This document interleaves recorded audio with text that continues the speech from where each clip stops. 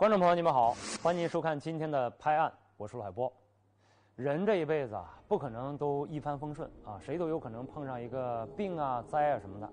可是呢，这碰上了困难就想着去谋害别人，那还真不是什么人都干得出来的事儿。今天节目里边的这个犯罪嫌疑人呢，就是如此的丧心病狂。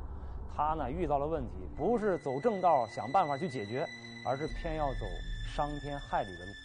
一块来看我们今天的节目。三月的潇湘大地，万物复苏，生机勃发，田野上呢到处都是忙碌的人们。一场适时的春雨冲刷着九嶷河和临江河隆冬的积尘和淤泥，在湖南永州道县的甘子园乡，从宁远县奔流而来的临江河水给九嶷河注入了新的活力。三月十九号，正是道县甘子园乡赶围的日子。上午呢，村民们从四面八方涌往了集市去买东西。可是等他们回来的时候呢，在九一河居民村段的朱家湾渡口，突然有了惊人的发现。那石头旁边那个那个那个脚趾旁边嘛，这以为是那个塑料脚，刚开始的时候。他们是在哪地方？就在这个地方。我说这个脚是不是人脚？他说你说是不是人脚嘞？我说看到好像是一个人。漂浮的腿因为河水回落，被岸边的片石牢牢的卡住，一阵阵刺鼻的尸臭让村民大吃一惊。仔细一看呢，那里竟然是一条断裂的人体的下肢，这可是吓坏了人。刚记得回的时候，很多人看到啊有点发臭味才知道是人脚嘛。然后到了上中午的时候才报案嘛，好像是一个左脚的弯弯曲的，在那个石头上面。当天下午的三点半左右，道县公安分局在接到了报警之后，迅速组织了警力赶往现场进行勘查。下次那个窗窗口很整齐，它是分四个断面，这个是应该是人为的，呃，这个比较尖锐的那个工具切割开的。在对无名下肢进行了仔细勘查之后呢，警方发现，这条左下肢长八十厘米，脚呢长二十二点五厘米。案发的时间应该是在两个月以内，而且呢，尸表没有明显的标记。从这段左下肢的切割面可以推断，凶手肢解尸体的手法十分老道。看样子，他不是医师，就很可能是一名屠夫。那么，根据这条腿的特征，能够大概推断出被害人的一些重要的信息吗？这个垂穿新高的那些公司来计算，一米五七，根据那个骨骼骨骼的愈合情况。我们给他看的年龄大概就是十八到二十五岁，这是根据那个大腿的形状，大腿的形状看到那个像个女无头案，啊，就是仅仅是一只是是是一个左左下肢，呃，那个躯干没有，这个头颅没有。警方要想侦破案件，仅仅凭着这一条断裂的下肢肯定是无法办到的。他们呢，必须要尽快的找到其他的尸块，才能够确认尸源以及被害人的真实身份。三月二十号的清晨，民警们兵分三路，准备寻找尸源。沿河寻找是他的尸块，远溯这个九里河和顺流河下到双白水库找是他的尸块部分，给这个所有的尸块能够找拢斗拢来，确认这个尸尸体是男尸还是女尸。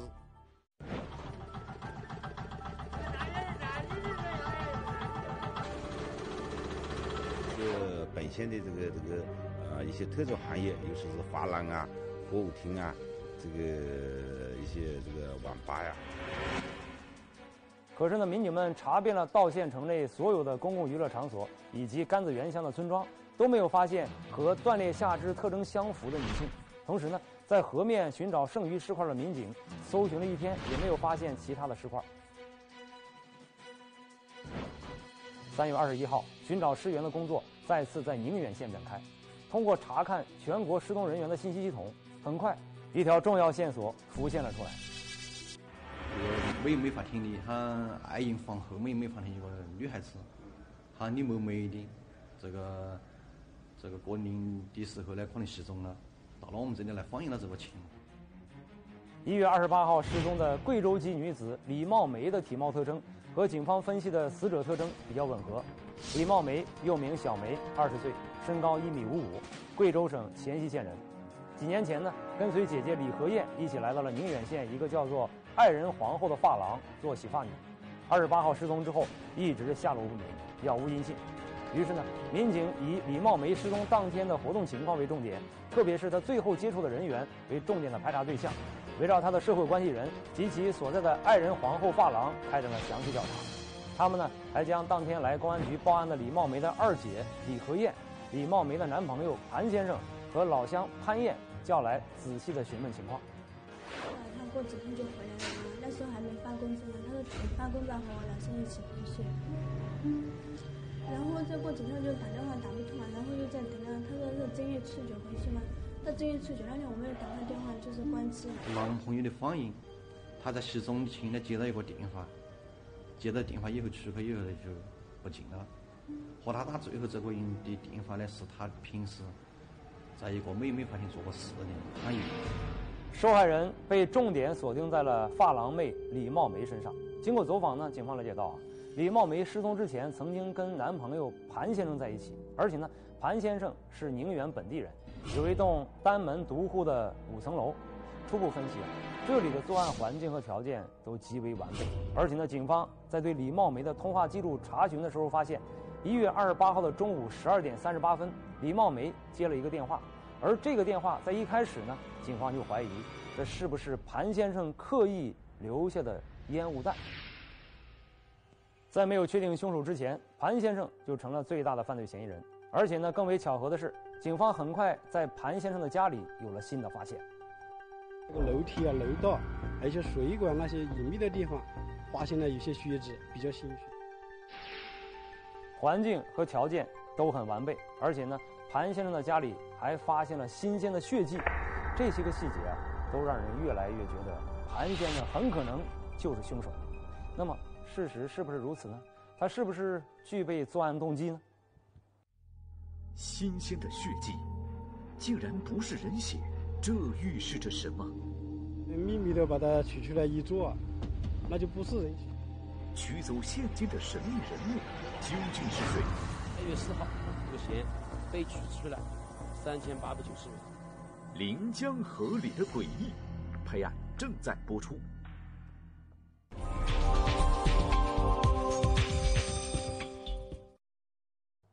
刚才我们说到了，如果被害人是李茂梅的话，那么她的男朋友潘先生有一定的犯罪嫌疑。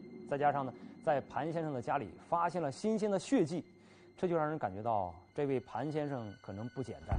他如此心急的帮助女朋友报警，是不是在贼喊捉贼？没想到这样的推断很快就被推翻了。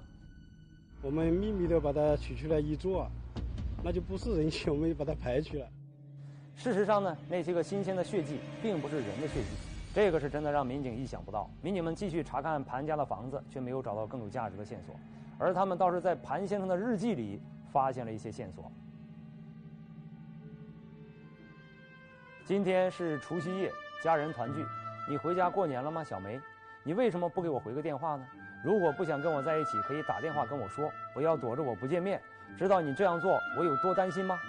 盼望你的来电，爱你的人，在电话这头想着你。这日记的字里行间流露出了潘先生对女友李茂梅的思念之情。这种情感呢，是很难伪造出来的。潘先生的杀人嫌疑一步步的被警方排除了。而这个时候呢，警方抽取了李茂梅母亲的血液做 DNA 检验，结果证实无名下肢的 DNA 和李茂梅母亲的 DNA 一致，这就说明断裂的下肢就是李茂梅的。那么最后给李茂梅打电话的那个神秘人物燕子究竟是什么人呢？他跟李茂梅的死又有没有联系呢？从十二点三十八分李茂梅外出到一点半。手机关机啊，在这短短的不到一个小时的时间里，究竟发生了什么呢？民警在对李茂梅工作的爱人皇后发廊调查的时候，发现打电话的燕子呢，就是死者李茂梅的老乡潘燕。潘燕原名曾真，绰号燕子，初中文化，贵州锦屏县人。潘燕呢，只是他在爱人皇后发廊中的化名。他呢承认说，当时的确给李茂梅打了电话。目的呢是打算归还一百块钱，约好了两个人在生源百货的门前见面。他是打了电话给他，但是他没后面呢，他没来，没见到过他。对于曾真的这种说法呢，警方感到十分的困惑啊！如果他就是杀人凶手，那么案发五十多天来，他为什么没有逃跑？而且他不光没有逃跑，反倒是陪着死者的姐姐李和燕和男友潘先生一起去了公安机关报警。这些个看上去都有些不符合常理啊。还有一个细节啊，那就是李茂梅的个子比潘燕高大。要是对方真想加害李茂梅的话，也绝非易事啊，更谈不上肢解尸体和抛尸了。这个藏在幕后的元凶究竟是谁呢？他的杀人动机到底会是什么？警方在清理李茂梅的个人物品的时候，发现她的钱包还在，但是呢，银行的存折和身份证却不知去向了。民警去银行调查的时候，发现呢，李茂梅的存折在她失踪的前一天被人给挂失了。二月四号，这个钱被取出了三千八百九十元。那么，那个取走了李茂梅存折上三千八百九十块钱的神秘人会是什么人呢？从江面上的无名断肢，到警方确认死者李茂梅的身份啊，再到排除死者男友潘先生的杀人嫌疑，民警们在不断的质疑，不断的排除。现在呢，倒是出现了一个关键的线索：取走李茂梅存折上钱的这个人，很可能和他的死有着某种关联。那么，这个在银行里取款的人究竟是谁？李茂梅的死，他的背后究竟隐藏着什么样的阴谋？一连串的疑问，急需警方。要找出答案。警方在银行调查的当天，还获得了一条重要的信息：在李茂梅的银行挂失单上记录的呢，却是曾真的手机号码。难道说曾真就是取走李茂梅三千八百九十块存款的神秘人物？如果李茂梅的死真的和曾真有关，那么杀人的第一现场会在哪里？警方呢，把曾真就列为了案件的重点嫌疑对象。之后呢，警方又了解到，和李茂梅同在。爱人皇后打工的曾真嫁给了宁远县棉花坪镇的青年刘文清，婚后两个人生有一个女儿，生活呢十分的拮据。加上刘文清平时呢好赌成性，在外边欠了不少的赌债。这样说来，他们夫妻俩具有合伙杀害李茂梅的犯罪动机。潘燕一个人是做不到的，要杀人，又要分尸，又要肢解尸体，又要抛尸，必须一个男的。事实上呢，刘文清的父亲是一个屠夫。刘文清从小就跟随父亲学习过杀猪肢解的技巧。这样看来啊，这对夫妻俩的嫌疑是陡然上升。三月二十三号，民警从曾真同事的口中得知，他们夫妻俩在县城的西门街筹房井一带呢租有房屋，平时啊很少回棉花坪乡，但是没有人知道他们的详细住址。民警们只好拿着两个人的照片到筹房井一带秘密的查找。没想到这一找，还真的很快。就在筹房井十二号找到了这对夫妻租住的房子。房东说：“没错，这个人在一月的一三号租住我的房子，准备住一个月，在一月三十一号搬。”李茂梅失踪两天之后，曾真、刘文清夫妇呢就匆匆的搬离了出租屋，这是为什么呢？难道仅仅是巧合吗？还是他们在有意躲避警方的追捕呢？杀人分尸的第一现场终于确定，就确定这个头颅跟那个大腿啊，跟现场也是，那是完全一致的，这前面就是一个尸体。职工单背后的数字，透露怎样的秘密？找到了一间啊，爱心皇后美容美发厅，职工单背面写了三千八百加一。临江河里的诡异，拍案正在播出。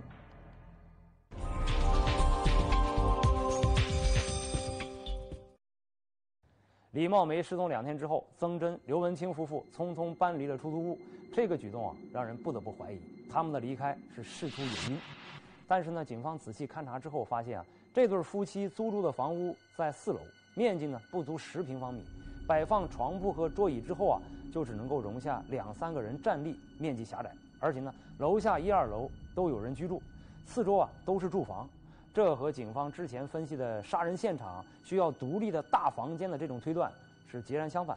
而且呢，这个房间里边粗略的来看，并没有可疑的血迹。难道说警方的调查又出现了偏差吗？警方这一次决定打破常规，到出租屋里再次搜寻证据，不放过任何的蛛丝马迹。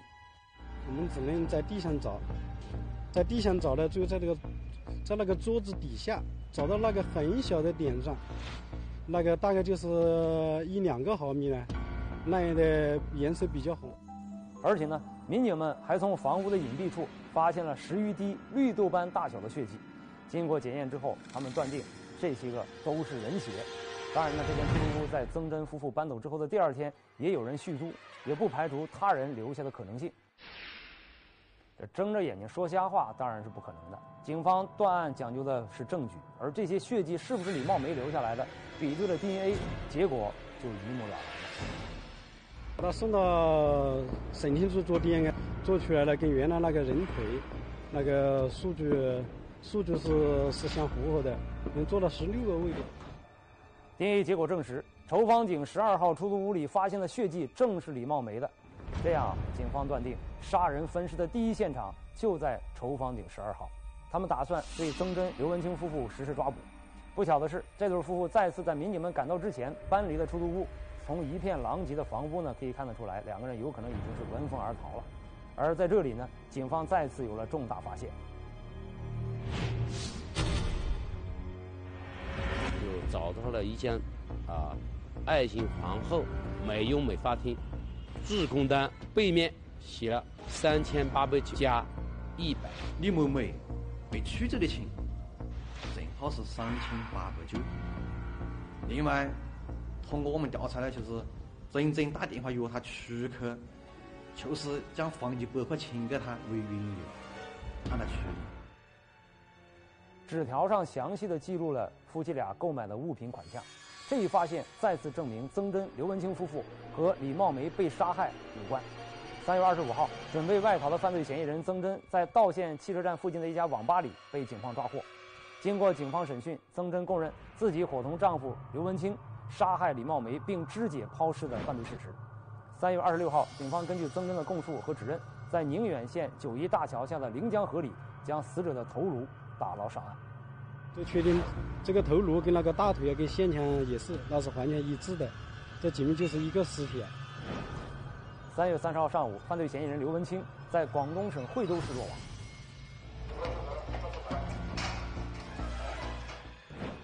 随着曾真、刘文清夫妇被抓获，案件也宣告侦破。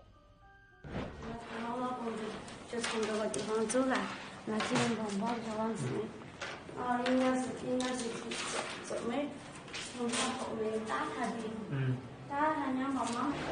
就要就要回来是吧？这还是个秀，这就知道了。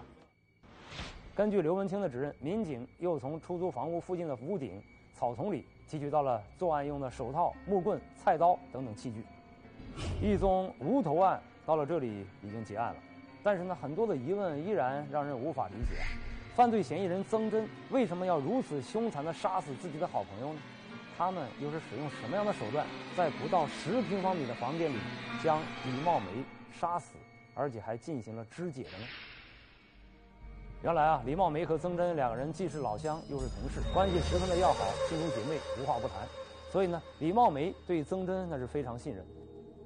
一月十八号，李茂梅给家里转了一万块钱之后，把剩余的三千八百九十七块钱存款留作了私房钱。他呢，还把存折和身份证一起放到了爱人皇后发廊宿舍的包里边。而这些个情况，曾真一清二楚。因为经济拮据，曾真和刘文清就打起了李茂梅的主意。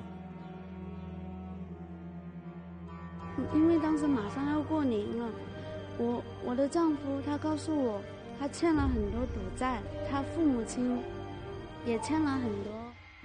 有句话叫“人为财死，鸟为食亡”啊，在碰上了这么个不学无术、嗜赌成性的丈夫之后，这曾真竟然为了保全她的丈夫而狠下心来，和丈夫一起设计来陷害自己的好友。他们的目的很简单，首先要拿到李茂梅的积蓄。一月二十七号，曾真在丈夫的怂恿之下，悄悄地把李茂梅的存折和身份证偷了出来，并且呢，到银行里办理了挂失手续。